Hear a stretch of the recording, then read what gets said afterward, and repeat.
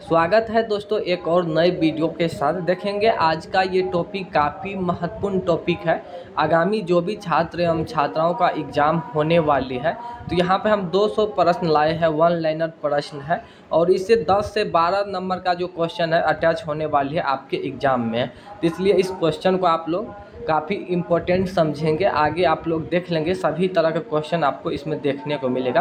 क्योंकि कंप्यूटर और बेसिक से भी दो से तीन नंबर का क्वेश्चन रिपीट किया गया है, अभी तक में जितना भी शिफ्ट में एग्ज़ाम हुआ है, ठीक है? इंटरनेट से भी एक से दो क्वेश्चन अटैच किया गया है पावर पॉइंट से तीन से चार और बाकी एम एस वर्ड से बारह से तेरह क्वेश्चन और पच्चीस से छब्बीस नंबर का जो क्वेश्चन है, वो एम एस एक्सल से है। तो इस तरह से क्वेश्चन उठाए गए हैं।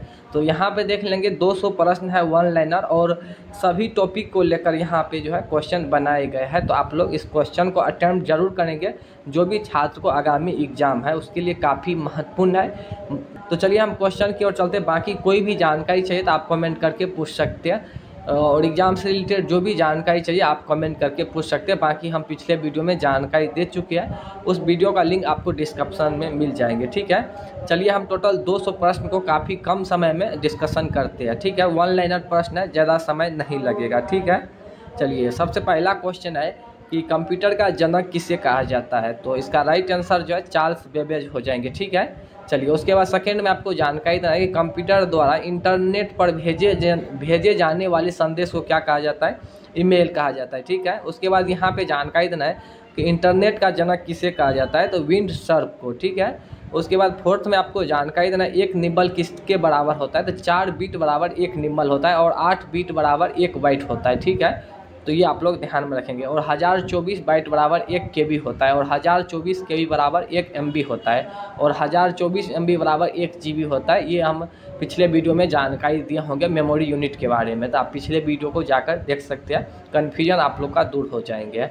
उसके बाद पाँच में आपको जानकारी देना है किसी भी प्रोग्राम में अशुद्धि को क्या कहा जाता है? मतलब किसी भी प्रोग्राम में एरर को हम बग कहते हैं, ठीक है? चलिए, उसके बाद छः में आपको जानकारी देना एक बाइट कितनी बीट के बराबर होता है। तो आठ बीट बराबर एक बाइट होता है, ठीक है? उसके बाद आगे यहाँ पे जानकारी देना है, किस दिन कंप्यूटर साक्षरता दिवस मनाया जाता है? तो कंप्यूटर साक्षरता दिवस जो मनाए जाते हैं, वो दो दिसंबर को मनाए जाते हैं, ठीक है? चलिए, आठ में आपको जानकारी देना है कंप्यूटर के माउस का आविष्कार किसने किया? तो डगल्स एंजल वर्ल्ड हो जाएँगे, इसका राइट आंसर उसके बाद नौ में आपको जानकारी देना है, सबसे पहला कंप्यूटर का नाम क्या था? तो इनियक था सबसे पहला कंप्यूटर का नाम। उसके बाद दस में आपको जानकारी देना है कि, दस में आपको जानकारी देना है कि उस सॉफ्टवेयर को क्या कहते हैं, जिसका प्रयोग करके इंटरनेट साइट को चलाने के लिए अनुपात मिलता है। तो ब्राउज़र से कोई भी आप इंटरनेट को एक्सेस करेंगे, ठीक है? चलिए, ग्यारह में आपको जानकारी देना है कंप्यूटर में डाटा का अर्थ क्या है। तो कंप्यूटर में जो भी डाटा है, वो एक इन्फॉर्मेशन है, ठीक है? चलिए, बारह में आपको जानकारी देना है, कंप्यूटर डाटा की सबसे छोटी इकाई कौन सी होता है? तो बीट होता है, ठीक है? कंप्यूटर डाटा पूछे या मेमोरी के सबसे छोटा यूनिट पूछे तो उसका बीट ही होगा, ये आप लोग ध्यान में रखेंगे। चलिए, तेरह में आपको जानकारी देना है कि कौन सा सबसे पावरफुल कंप्यूटर होता है? तो पावरफुल कंप्यूटर जो होता है सुपर कंप्यूटर होता है। उसके बाद नेक्स्ट आपको जानकारी देना है, किसे आर्टिफिशियल इंटेलिजेंस पिता माना जाता है? तो यहाँ देखिए जॉन मेका अर्थी को माना जाता है। इसका राइट आंसर ये हो जाएँगे जॉन मेका अर्थी हो जाएँगे। तो आर्टिफिशियल इंटेलिजेंस जो कंप्यूटर है फाइव जनरेशन के तो उसका पिता जो है जॉन मेका अर्थी है, ठीक है? ये आप लोग ध्यान में रखेंगे। उसके बाद पंद्रह में आपको जानकारी देना कंप्यूटर साइंस के पिता किन्हें कहा जाता है। तो एलंग टूरिंग हो जाएँगे कंप्यूटर ऑफ़ साइंस जो हो जाएँगे एलंग टूरिंग हो जाएँगे, ये आप लोग ध्यान में रखेंगे। उसके बाद सोलह में आपको जानकारी देना है कंट्रोल शिफ्ट अल्ट ये सब मॉडिफाइड की है। उसके बाद सत्रह में आपको जानकारी देना है कि कंप्यूटर की मेन मेमोरी कौन सी होती है। तो रैम और रोम जो है, ये प्रथम मेमोरी होता है और जिसे हम मेन मेमोरी के नाम से भी जानते हैं, ये आप लोग ध्यान में रखेंगे। उसके बाद अठारह में आपको जानकारी देना है कि इंटरनेट में इंटरनेट में प्रयोग होने वाली कंप्यूटर लैंग्वेज कौन सा होता है। तो इंटरनेट पे जो कंप्यूटर का लैंग्वेज यूज़ होता है, वो जावा होता है, ये आप लोग ध्यान में रखेंगे। चलिए, उसके बाद उन्नीस में आपको जानकारी देना है कि प्रिंटर की क्वालिटी मापने के लिए कौन सी यूनिट का प्रयोग किया जाता है। तो कंप्यूटर का जो क्वालिटी मापते हैं, वो डीपीआई में डॉट पर इंच मापते हैं और कंप्यूटर का जो गति होता है, वो पीपीएम में मापते हैं पेज पर मिनट तो ये बात आप लोग ध्यान में रखेंगे। उसके बाद आगे यहाँ पे जानकारी देना है कि कंप्यूटर में जंक ईमेल को क्या कहा जाता है तो इसे स्पैम के नाम से जानते हैं। आगे जानकारी देना कि सॉफ्टवेयर को और किस नाम से जाना जाता है। तो सॉफ्टवेयर को अन्य प्रोग्राम के नाम से हम जानते हैं। बाईस में आपको जानकारी देना है, कंप्यूटर में किस भाषा का प्रयोग वैज्ञानिक काम के लिए किया जाता है। तो फोर्टोन लैंग्वेज का जो है काम मतलब फोर्टोन लैंग्वेज है वो वैज्ञानिक वैज्ञानिक भाषाओं में जो है यूज़ किया जाता है, ठीक है? इसका राइट आंसर जो है फोटोन हो जाएगा, जिसे हम फार्मूला ट्रांसलेशन भी जानते हैं। इसका फुल फॉर्म होता है फार्मूला ट्रांसलेशन, ये आप लोग ध्यान में रखेंगे। तो इसमें आपको जानकारी देना है कि वाईफाई का पूर्ण रूप क्या होता है। तो वायरलेस फिडेलिटी होता है, ठीक है, ये आप लोग ध्यान में रखेंगे। वायरलेस फिडेलिटी होता है वाईफाई का फुल फॉर्म उसके बाद चौबीस में आपको जानकारी देना है कि फोर्टोन का पूर्ण रूप क्या होता है। तो फार्मूला ट्रांसलेशन होता है। डब्लू डब्लू का विकास किसने किया? टीम बनर्सी ने किया था, ये आप लोग जानते होंगे।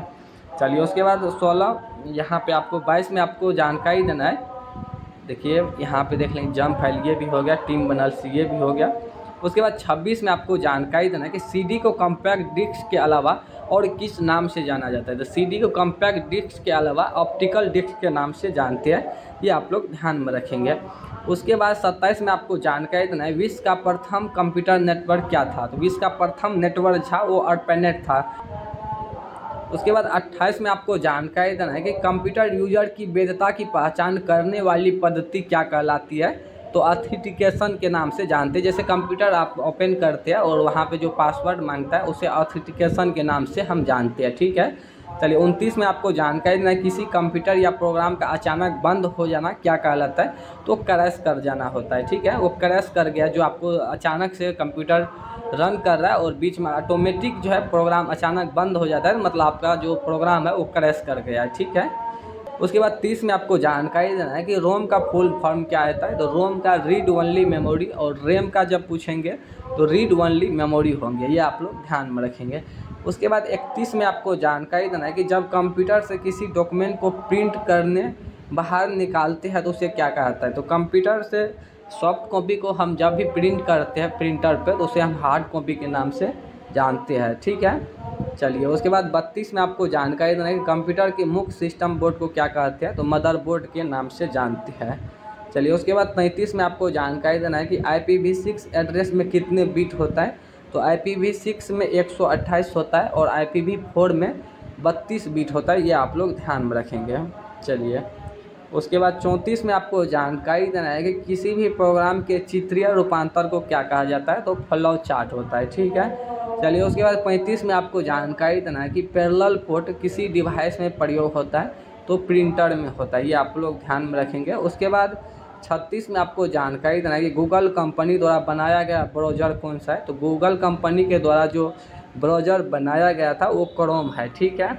चलिए, सैंतीस में आपको जानकारी देना है कि कंप्यूटर में यूएसबी का फुल फॉर्म क्या होता है? तो यूनिवर्सल सीरियल बस होता है, ये आप लोग ध्यान में रखेंगे। उसके बाद अड़तीस में आपको जानकारी देना है कि कंप्यूटर में पेंटियम शब्द का संबंध किससे है? तो माइक्रो प्रोसेसर होता है, ठीक है? तो राइट आंसर इसका माइक्रो प्रोसेसर हो जाएँगे। उसके बाद उनचालीस में आपको जानकारी देना है कि एप्पल कंपनी द्वारा बनाया गया ऑपरेटिंग सिस्टम का नाम क्या है? तो मैक ऑपरेटिंग सिस्टम होता है, ठीक है? ये आप लोग ध्यान में रखेंगे। एप्पल कंपनी द्वारा जो ऑपरेटिंग सिस्टम बनाया गया था, जिसे हम ओ एस के नाम से जानते हैं मैक ऑपरेटिंग सिस्टम ठीक है? चलिए, उसके बाद चालीस में आपको जानकारी देना है, किसी बैंक में चेक को रीड करने के लिए किस विधि का उपयोग किया जाता है? तो एम आई सी आर इसका फुल फॉर्म होता है मैग्नेटिक इंक कैरेक्टर रीडर चलिए चालीस में, चालीस हो गया, इकतालीस में आपको जानकारी देना है कि प्रथम पीढ़ी के कंप्यूटर को बनाने में क्या प्रयोग होता था। तो प्रथम पीढ़ी के जो कंप्यूटर था, वो वैक्यूम ट्यूब था, ठीक है? उसके बाद बयालीस में आपको जानकारी देना है कि यहाँ पे वर्ल्ड वाइड वेब का बैकबोन किसे माना जाता है। देखिए, काफ़ी महत्वपूर्ण प्रश्न है। कि वर्ल्ड वाइड वेब का जो हम प्रयोग करते हैं वेबसाइट पे तो इसे बैकबोन जो है वो एचटीटीपी होता है, क्योंकि एचटीटीपी के साथ जो है डब्ल्यू डॉट ये लगता है। तो बैकबोन जो होता है एचटीटीपी होता है हाइपर टेक्स्ट ट्रांसफ़र प्रोटोकॉल उसके बाद वायरस का फुल फॉर्म क्या होता है तो यहाँ से vital information research under siege होता है, ये आप लोग ध्यान में रखेंगे। उसके बाद चौवालीस में आपको जानकारी देना है कि ऐसा प्रोग्राम जो उच्च स्तर की भाषा को मशीन स्थान में, मशीनी भाषा में बदल देता है, उसे कंपाइलर के नाम से जानते हैं। पैंतालीस में आपको जानकारी देना है कि वेबसाइट को देखने के लिए प्रयुक्त किए जाने वाले सॉफ्टवेयर को क्या कहते हैं तो ब्राउज़र बोलते हैं उसे, ठीक है? चलिए, उसके बाद छियालीस में आपको जानकारी देना है कि कंप्यूटर में रैम किस तरह की मेमोरी है। तो रैम जो होता है वो नॉन वॉलीटाइल होता है, ठीक है? यहाँ पे देखेंगे, यहाँ पे आंसर आप लोग सुधार कर लेंगे। ये बताया जा रहा है कि कंप्यूटर में रैम किस प्रकार की मेमोरी होता है?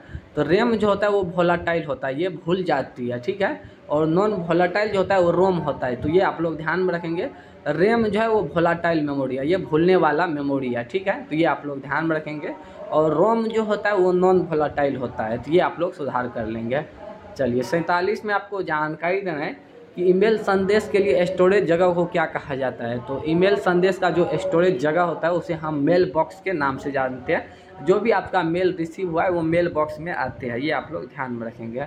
अड़तालीस में आपको जानकारी देना है कि कंप्यूटर में किसी वेब पृष्ठ को फिर से लोड करने के लिए कौन सा बटन दबाते हैं तो रिफ्रेश हम दबाते हैं। उनचास में आपको जानकारी देना है कि कंप्यूटर में यूपीएस का मुख्य पूर्ण रूप क्या होता है? तो पूर्ण रूप और साथ ही यूपीएस का जो काम होता है, बिजली जाने के बाद जो बैकअप प्रदान करता है कंप्यूटर को, उसके लिए हम यूपीएस लगाते हैं। देखे होंगे, काफ़ी सारे कार्यालय में इस तरह से यूपीएस लगा रहता है, जो हमें पावर बैकअप मिलता है यूपीएस से, है तो ये आप लोग ध्यान में रखेंगे। उसके बाद पचास में आपको जानकारी इतना है कि कंप्यूटर के कीबोर्ड में ज़ीरो से लेकर नौ तक का जो की होता है, जिसे हम न्यूमिकल की की के नाम से जानते हैं न्यूमेरिकल की के नाम से जानते हैं ज़ीरो से नाइन तक को, ठीक है? अब बाकी एफ़ वन से लेकर एफ़ बारह तक को हम फ़ंक्शन की के नाम से जानते हैं, ठीक है? और ए से लेकर जार तक जो भी है, वो अल्फ़ाबेटिकल के नाम से जानते हैं अल्फ़ाबेट ठीक है? तो ये आप लोग ध्यान में रखेंगे।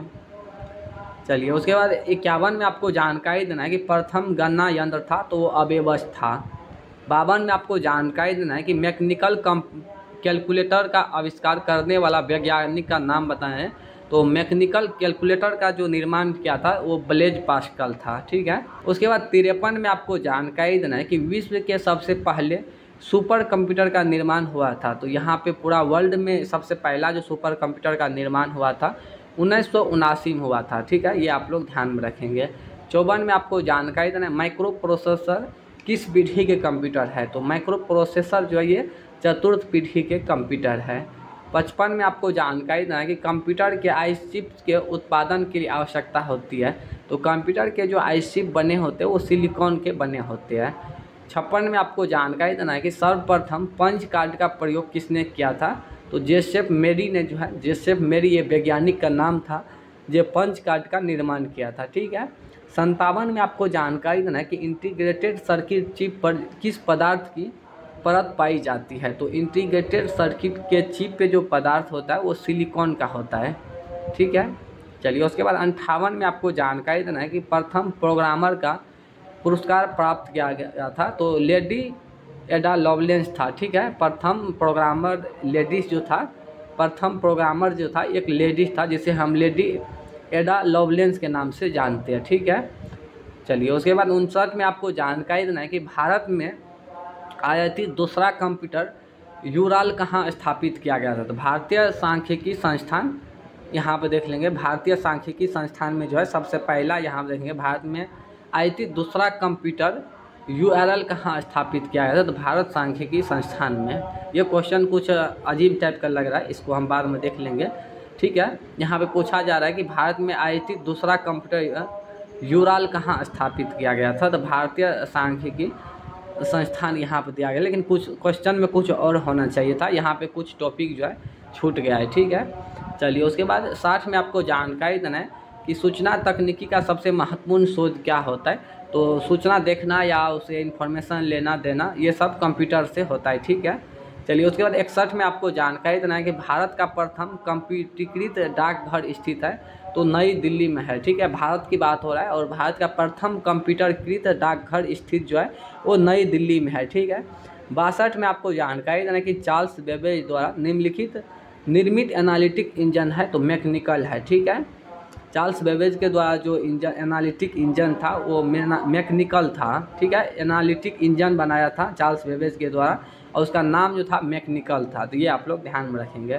तिरसठ में आपको जानकारी देना है कि प्रथम यांत्रिक गन्ना मशीन का आविष्कार हुआ था तो 1642 में हुआ था, ठीक है? ये आप लोग ध्यान में रखेंगे। प्रथम यांत्रिक गन्ना मशीन जो आविष्कार किया गया था, सोलह से बयालीस में किया गया था, ठीक है? चलिए, चौंसठ में आपको जानकारी देना कि कंप्यूटर का अर्थ होता है डाटा प्रोसेसिंग करना, ठीक है? इसका राइट आंसर जो है, ये हो जाएँगे। कंप्यूटर का अर्थ है डाटा को प्रोसेसिंग में मतलब डाटा को इन्फॉर्मेशन चेंज करके यूज़र को समझने लायक बनाती है, ठीक है?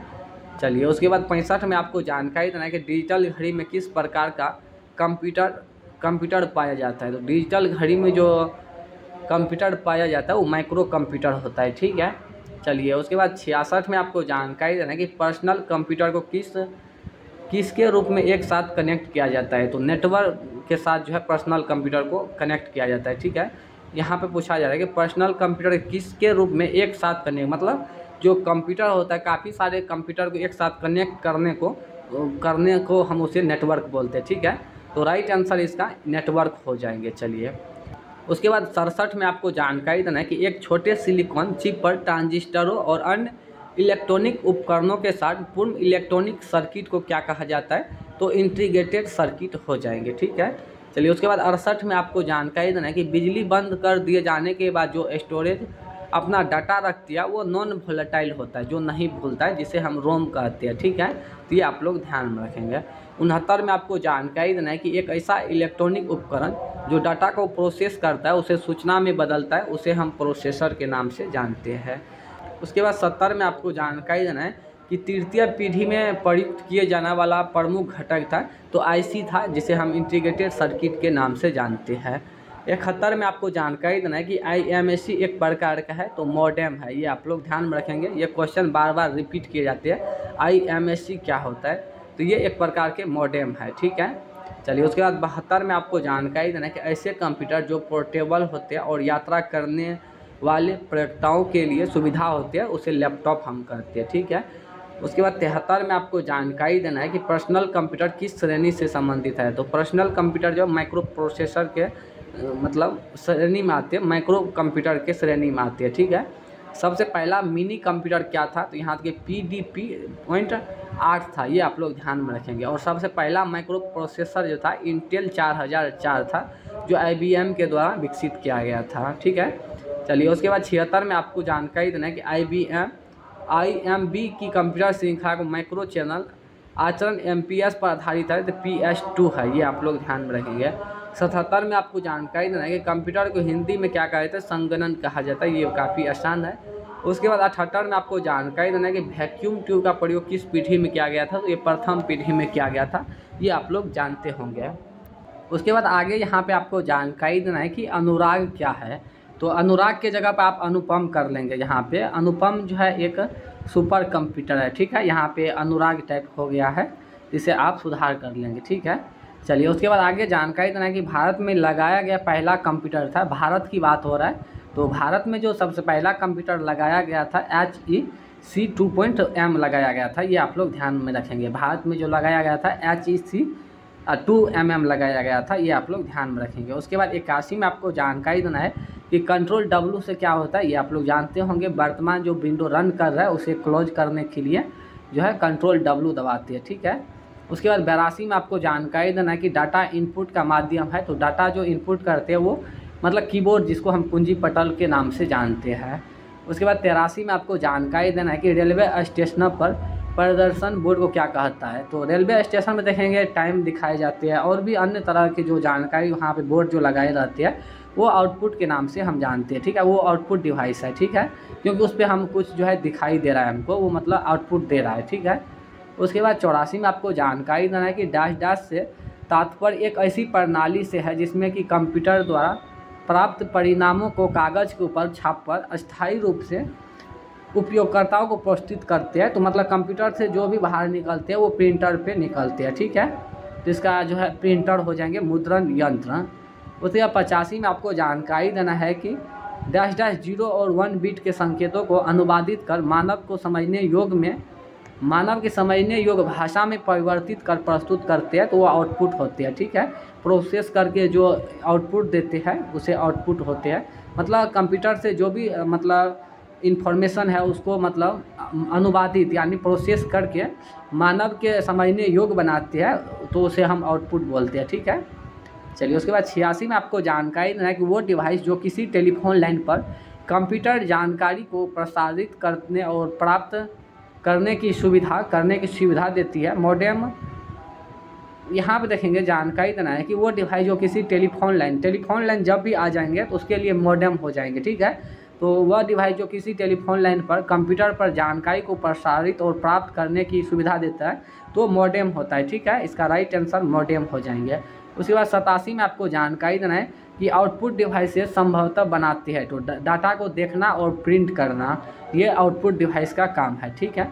अट्ठासी में आपको जानकारी देना है कि कंप्यूटर सिस्टम में डैश डैश के माध्यम से टेक्स्ट और न्यूमेरिकल डाटा को प्रवेश किए जाते हैं तो वो कीबोर्ड होता है, ठीक है? उसके बाद नवासी में आपको जानकारी देना है कि स्कैनर डैश डैश स्कैन करता है तो पिक्चर और टेक्स्ट दोनों स्कैन करता है। उसके बाद नब्बे में आपको जानकारी देना है कि आउटपुट क्या है। वो जो प्रोसेसर को यूज़र से मिले, ठीक है? आउटपुट ये हो जाएगा। आउटपुट भाई, जैसे मान लीजिए, और कंप्यूटर है, और कंप्यूटर में जो भी आप डाटा इनपुट करते हैं मतलब प्रोसेसर को जो जानकारी मिलता है यूज़र से मिलता है, ठीक है? तो ये हो जाएँगे, ठीक है? यहाँ पे देख लेंगे, वो वो जो प्रोसेसर को यूज़र से मिले, ठीक है? उसके बाद आउटपुट क्या है? वो जो प्रोसेसर को यूज़र से मिलता है, ठीक है? चलिए, उसके बाद इक्यानवे में आपको जानकारी देना है कि वी का संक्षिप्त रूप क्या है। तो विजुअल डिस्प्ले यूनिट होता है, ठीक है? उसके बाद बिरानवे में आपको जानकारी देना है कि एम आई सी आर का संक्षिप्त रूप क्या है। तो मैग्नेटिक इंक कैरेक्टर रेगुलेशन होता है, ये ज़्यादातर बैंक में उपयोग होता है चेक को रीड करने के लिए, ठीक है? चलिए, उसके बाद तिरानवे में आपको जानकारी देना है कर्सर वाले चीन को हटाने की शॉर्टकट कुंजी क्या होता है। तो डिलीट कुंजी से जो है मतलब यहाँ पे समझ सकते हैं, जैसे हमने यहाँ पे राम टाइप किया और अब मेरा कर्सर यहाँ पे है और डिलीट कुंजी दबाएँगे तो राम ए ए एम जो है ये डिलीट होना स्टार्ट हो जाएँगे मतलब राइट साइड से और लेफ़्ट साइड से लिए लेफ़्ट साइड से डिलीट करने के लिए हम बैक स्पेस दबाते हैं। उसके बाद चौरानवे में आपको जानकारी देना है कि रेजुलेशन का महत्वपूर्ण लक्षण है तो डिस्प्लाई डिवाइस डिस्प्लाई पे जो भी मतलब फ़ाइल फोल्डर आइकन है, उसे रिजुलेशन के नाम से जानते हैं, ठीक है? और इसका महत्वपूर्ण जो है डिस्प्ले डिवाइस हो जाएँगे। उसके बाद पंचानवे में आपको जानकारी देना है, किसी चित्र को कंप्यूटर में संग्रहित किया जाता है। तो स्कैनर के द्वारा आप चित्र या फ़ोटो जो भी है टेक्स्ट आधारित, वो आप कंप्यूटर में डाल सकते हैं स्कैनर के द्वारा, ठीक है? छियानवे में आपको जानकारी देना है कि कंप्यूटर में वीडियो गेम खेलना किससे आसान होता है तो जयस्टिक से होता है, ठीक है? ये आप लोग जानते होंगे। और एम का जो ज़्यादातर उपयोग होता है, वो बैंक में होता है, ठीक है? उसके बाद अंठानवे में आपको जानकारी देना है कि प्लॉटर एक प्रकार का है। तो प्लॉटर जो है, ये आउटपुट डिवाइस है, ये प्रिंटर है एक तरह से, ठीक है? और काफ़ी हाई क्वालिटी के जो, जैसे ग्राफिक्स हो गया, ये सबको प्रिंट करने के लिए हम प्लॉटर का सहारा लेते हैं।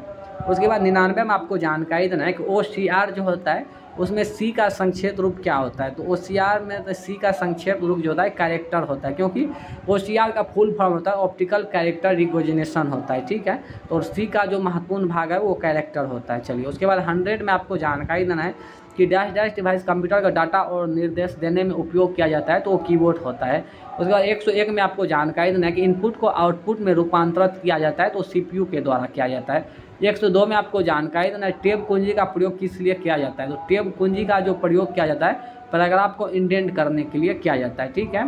चलिए, उसके बाद एक सौ तीन में आपको जानकारी देना है कि टेक्स्ट को पंक्ति के आरंभ में, यानी टेक्स्ट को पंक्ति के आरंभ में ले जाने के लिए कौन सा कुंजी दबाते हैं? जैसे मान लीजिए राम इज़ गुड, वो है, और लास्ट में आपका कर्सर है, और सबसे शुरुआत में कर्सर लाना चाहते हैं तो उसके लिए आप होम कुंजी दबाएँगे, ठीक है? चलिए, उसके बाद 104 में आपको जानकारी देना है, किसी फ़ाइल को कट करने का जो शॉर्टकट कुंजी होता है कंट्रोल एक्स होता है, ठीक है? चलिए, आगे यहाँ पे जानकारी देना है कि इनपुट आउटपुट और प्रोसेसिंग डिवाइसों का एक साथ समूह बना दिया जाए तो ये किससे निरूपण करेगा? तो कंप्यूटर सिस्टम से, ठीक है? तो यहाँ पे समझ सकते हैं कि इनपुट और आउटपुट प्रोसेसिंग डिवाइस को एक साथ समूह, यानी ग्रुप कर दिया जाता है तो ये किससे निरूपित होता है? तो वो कंप्यूटर सिस्टम से, ठीक है? एक सौ छः में आपको जानकारी देना है कौन सा सिस्टम कंपोनेंट कंप्यूटर का मस्तिष्क होता है। तो ब्रेन ऑफ़ कंप्यूटर जो होता है वो सीपीयू होता है ठीक है? एक सौ सात में आपको जानकारी देना है कि प्रिंटर और मॉनिटर जैसे पेरीफेरल उपकरण को माना जाता है तो हार्डवेयर डिवाइस होता है ठीक है? जैसे मॉनिटर हो गया ये और प्रिंटर ये सब हार्डवेयर डिवाइस है ठीक है? उसके बाद 108 में आपको जानकारी देना है कि डाटा अस्थायी रूप से सेव कहाँ पे होता है? तो डाटा अस्थायी रूप से जो होता है रो, रोम में सेव होता है रीड ओनली मेमोरी ठीक है? जिसे हम नॉन वोलेटाइल के नाम से जानते हैं। नॉन वोलेटाइल मेमोरी होता है रोम ठीक है?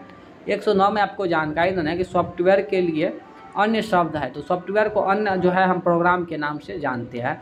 उसके बाद 110 में आपको जानकारी देना है कि प्रोसेसिंग कार्य किस प्रकार करना है। ऐसा कंप्यूटर को बताने वाले इंस्ट्रक्शन को कंप्यूटर डैश डैश करते हैं। तो मतलब यहाँ पे समझ सकते हैं प्रोसेसिंग के लिए जो भी मतलब एप्लीकेशन है, वो एप्लीकेशन पे काम होता है ज़्यादातर।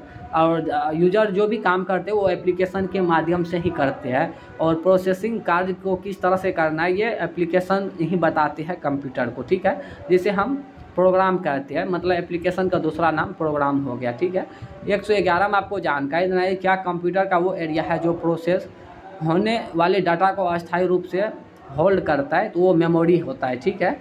उसके बाद 112 में जानकारी यानी कंप्यूटर सिस्टम की फंक्शनलिटी बढ़ाने के लिए उसके साथ जोड़े जा सकने वाले इंटी पेमेंट डेस्टिनेशन करने वाले टर्म को पेरीफेरल डिवाइस कहते हैं। यहाँ पे जैसे समझ सकते हैं कि कंप्यूटर से हम कोई भी चीज़ आउटपुट यानी निकालते हैं तो उसके साथ जो कनेक्ट होता है वो पेरीफेरल डिवाइस होता है, जैसे प्रिंटर स्कैनर ये सब साइड से लगाए जाते हैं, जैसे कंप्यूटर से कोई चीज़ को बाहर यानी आउटपुट लेने के लिए, ठीक है? उसके बाद तेरह में आपको जानकारी देना है कि कंप्यूटर प्रोग्राम का वो सेट है, जो कंप्यूटर को स्वयं ही मॉनिटर करने और अधिक दक्षता से कार्य करने में सहायता प्रदान करता है तो वो सिस्टम सॉफ्टवेयर होता है, ठीक है? और ए ऑपरेशन होता है तो अरिथमेटिक होता है, ठीक है? ए क्या ऑपरेशन करता है? तो अरिथमेटिक लॉजिक यूनिट इसका फुल फॉर्म होता है और इसका ऑपरेशन जो करता है मतलब ए का ऑपरेशन जो करता है अरिथमेटिक होता है, ठीक है?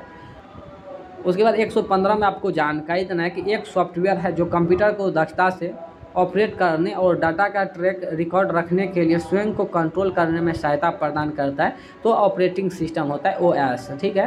116 में जानकारी देना कि कंप्यूटर को बनाने वाले फ़िज़िकल कंपोनेंट को हार्डवेयर कहते हैं। मतलब कंप्यूटर का जो कंपोनेंट है, जो कंप्यूटर मतलब जिस स्ट्रक्चर से कंप्यूटर बना है, उसे हम हार्डवेयर बोलते हैं, ठीक है?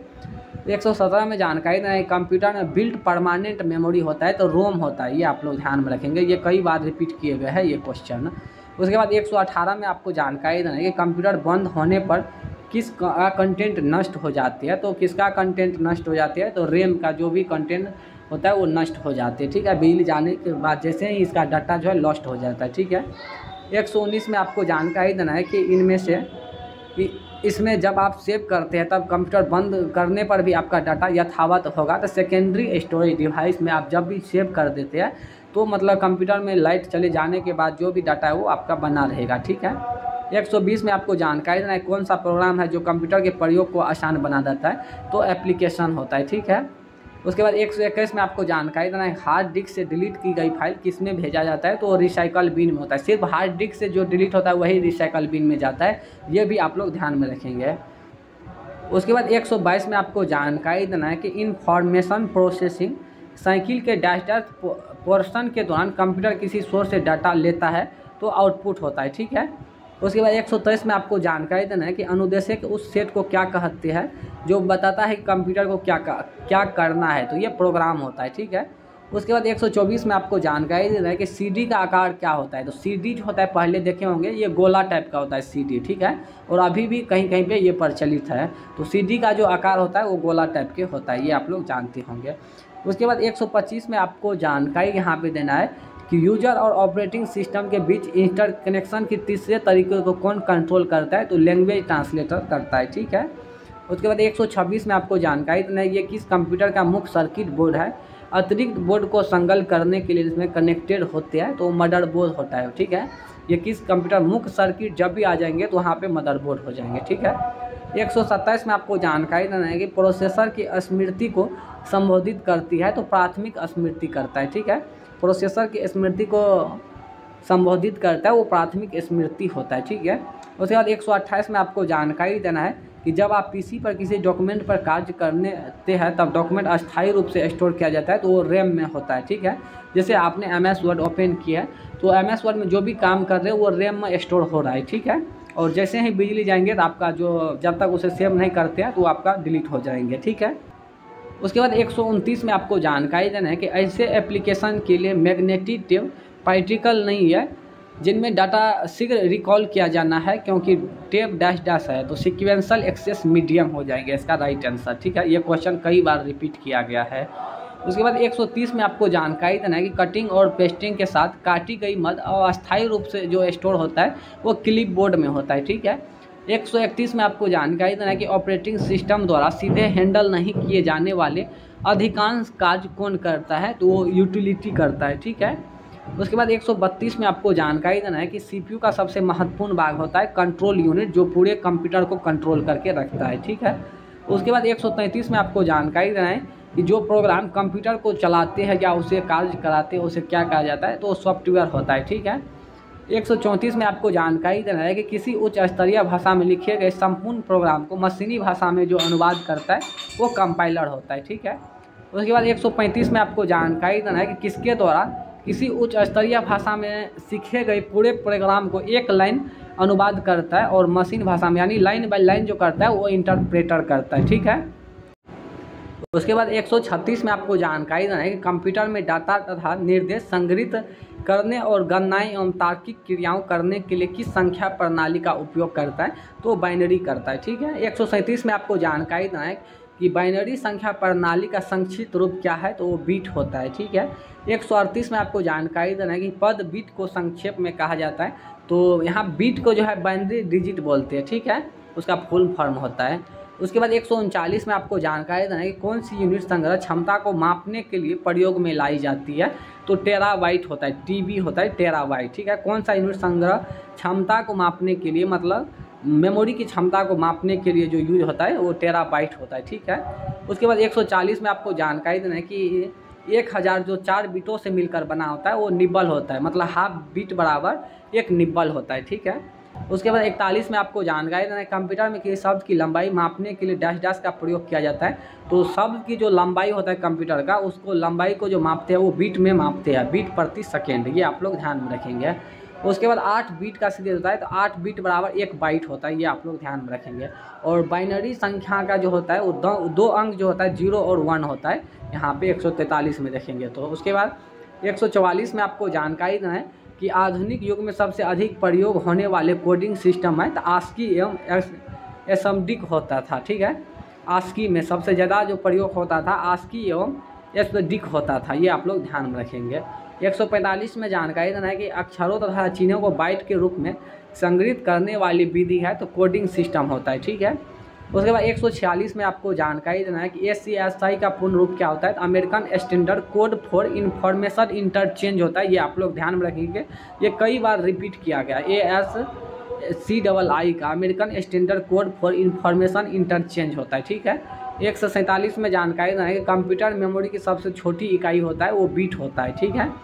उसके बाद एक सौ अड़तालीस में जानकारी देना है कि बाइनरी कोड के अनुसार विद्युतीय और संपादन का होना कौन सी संख्याओं को संदर्भित करता है? तो वन होता है। बाइनरी कोड में ज़ीरो और वन होता है, ठीक है? और पूछा जा रहा है कि बाइनरी कोड के अनुसार विद्युतीय विद्युतीय मतलब सेकेंड स्पंदन का होना कौन सी संख्याओं को प्रदर्शित करता है? इसका वन हो जाएँगे। ये आप लोग ध्यान में रखेंगे। उसके बाद एक सौ उनचास में जानकारी देना है, शून्य का अर्थ क्या होता है तो ऑफ़ होता है, ठीक है?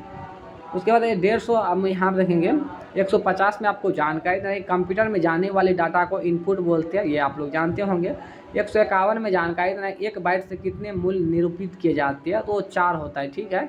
उसके बाद एक सौ बावन में आपको जानकारी देना है, एक जी बराबर होता है तो मिलियन बाइट होता है। यहाँ पे ध्यान में रखेंगे, ये क्वेश्चन कई बार रिपीट किए जाते हैं मेमोरी से कि एक बिलियन यानी यहाँ पे आपको जैसे याद कैसे रखना है तो यहाँ पे समझ सकते हैं। यहाँ पे पूछा जा रहा है कि एक जीबी बराबर होती है तो मिलियन बाइट तो जीबी में देखेंगे लास्ट में बी होता है तो इसे बिलियन याद रख लेंगे, ठीक है? वो चलिए आगे आपको जानकारी दें कि बाइनरी प्रणाली में अंक को क्या कहा जाता है। तो बाइनरी में जो होता है वो बीट होता है ज़ीरो और वन होता है, ठीक है? उसके बाद सोलह में आपको जानकारी दे रहा है, काफ़ी महत्वपूर्ण है।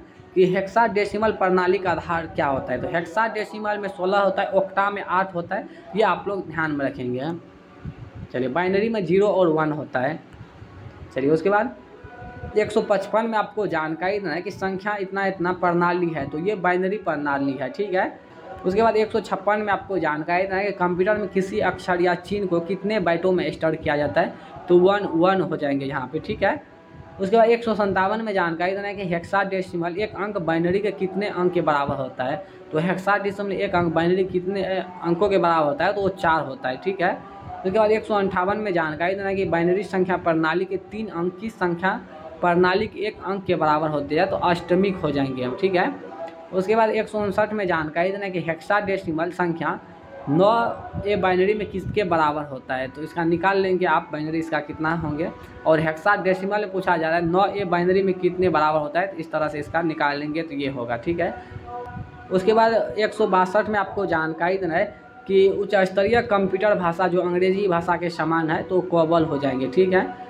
उसके बाद एक में जानकारी देना कि सर्वप्रथम कंप्यूटर प्रोग्राम में डैश डैश का प्रयोग किया गया था तो मशीनी लैंग्वेज का प्रयोग किया गया था। एक सौ चौंसठ में जानकारी देना कि बेसिक कंप्यूटर जॉन सी केमी का आविष्कार किस सन में हुआ था तो उन्नीस सौ चौंसठ में हुआ था। एक सौ पैंसठ में जानकारी देना कि कंप्यूटर भाषा फॉर्टेन का उपयोग किस क्षेत्र में होता है तो विज्ञान, यानी विज्ञान के क्षेत्र में ज़्यादातर जो फॉल्ट्रॉन का उपयोग किया जाता है। उसके बाद एक सौ छियासठ में जानकारी देना है कि वाणिज्य क्षेत्र में प्रयुक्त प्रोग्रामिंग भाषा होता है तो यानी बिज़नेस के क्षेत्र में जो भाषा का उपयोग किया गया था, वो कोमल होता है, ठीक है? कोबोल होता है, ठीक है? एक सौ सड़सठ में जानकारी देना है कि ग्राफिक्स रेखानुकृतियों के कार्यों में प्रयुक्त प्रोग्रामिंग भाषा होता है तो लोगो होता है, ठीक है? सर्वप्रथम विकसित प्रोग्रामिंग भाषा है। सबसे पहला जो मतलब प्रोग्राम के लिए भाषा विकसित किया गया था, वो सी होगा, ठीक है? चलिए, उसके बाद एक सौ उनहत्तर में आपको जानकारी देना है कि वैज्ञानिक क्षेत्र में प्रयुक्त प्रोग्रामिंग भाषा होता है तो फोर्टोन होता है, ठीक है? किस भाषा को निम्न का पत्थर कहा जाता है तो बेसिक हो जाएँगे, ठीक है? प्रोग्राम का चित्र के रूप में प्रदर्शन क्या कहलाता है तो फ्लो चार्ट हो जाएँगे। उसके बाद एक सौ बहत्तर में आपको जानकारी देना है कि जटिल वैज्ञानिक तथा व्यावसायिक गणनाओं के लिए उपयुक्त होता है भाषा तो वो फोर्टोन हो जाएँगे। उसके बाद एक सौ तिहत्तर में जानकारी देना है कि सभी कंप्यूटर में प्रयुक्त प्रोग्रामिंग भाषा है तो मशीनी होता है, ठीक है? एक सौ चौहत्तर में जानकारी देना है कि जावा का आविष्कार क्या है तो सन माइक्रो सिस्टम के द्वारा जावा भाषा का आविष्कार किया गया था। उसके बाद एक सौ पचहत्तर में जानकारी देना है सी बेसिक को बोल जावा, ये सब जो हाई लेवल लैंग्वेज है, ठीक है? एक सौ छिहत्तर में जानकारी देना है कंप्यूटर में लिखे गए निर्देश को क्रमबद्ध समूह का अर्थ क्या है तो प्रोग्राम होता है, ठीक है? एक सौ सतहत्तर में जानकारी देना है जिन भाषाओं में कंप्यूटर के लिए प्रोग्राम लिखे जाते हैं, उन्हें कौन सी भाषा कहा जाता है तो प्रोग्रामिंग भाषा होता है, ठीक है? उसके बाद एक सौ अठहत्तर में जानकारी देना है कि फोर्टोन एक ऐसा प्रोग्रामिंग भाषा है, जिसमें डैश डैश कार जो है तो प्रोग्राम लिखे जाते हैं तो वैज्ञानिक होता है। फोर्टोन जब भी आ जाएँगे तो उसमें वैज्ञानिक हो जाएँगे, ठीक है? उसके बाद एक सौ अठहत्तर में जानकारी देना है कि फोर्टोन एक ऐसी प्रोग्रामिंग भाषा है, जिसमें डैश डैश कार जो है तो प्रोग्राम लिखे जाते हैं। तो फोर्टोन का भाषा का जो ज़्यादातर उपयोग होता है, प्रोग्राम मतलब वैज्ञानिक क्षेत्र में उपयोग होता है, ठीक है? आगे यहाँ पे जानकारी देना है, किसी प्रोग्रामिंग भाषा में लिखे गए प्रोग्राम का अनुवाद कंप्यूटर की डैश डैश भाषा में कराना अनिवार्य है तो मशीनी हो जाएँगे, ठीक है? उसके बाद आगे जानकारी देना कि बेसिक में लिखे गए प्रोग्राम का मशीन भाषा में अनुवाद डैश डैश द्वारा किया जाता है तो इंटरप्रेटर हो जाएँगे, ठीक है?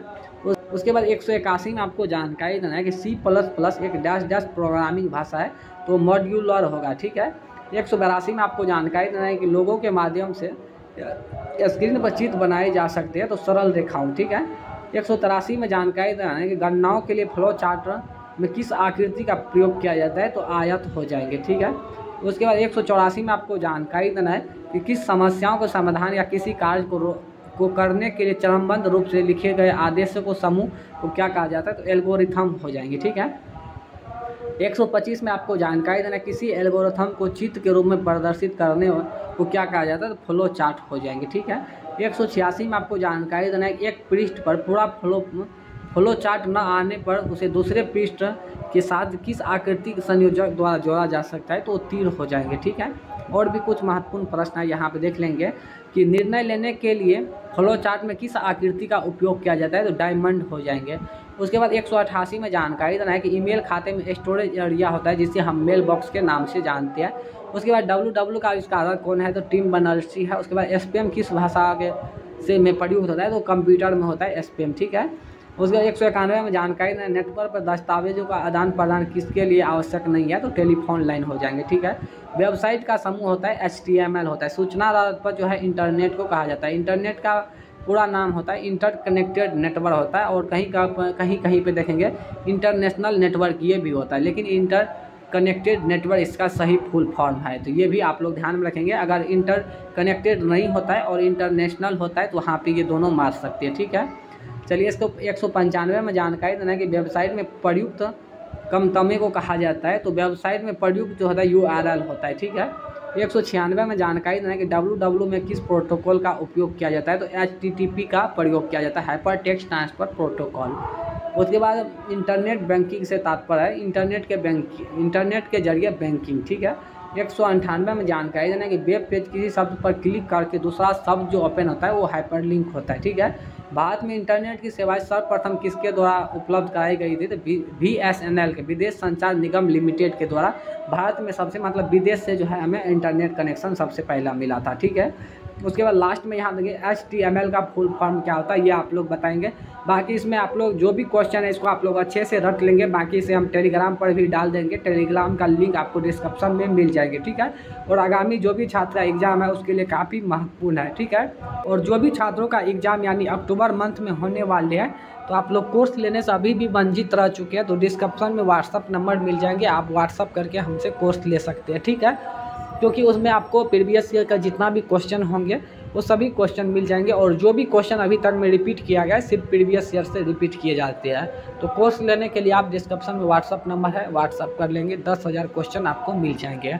और भी कोई जानकारी चाहिए तो कमेंट करके पूछ सकते हैं। धन्यवाद।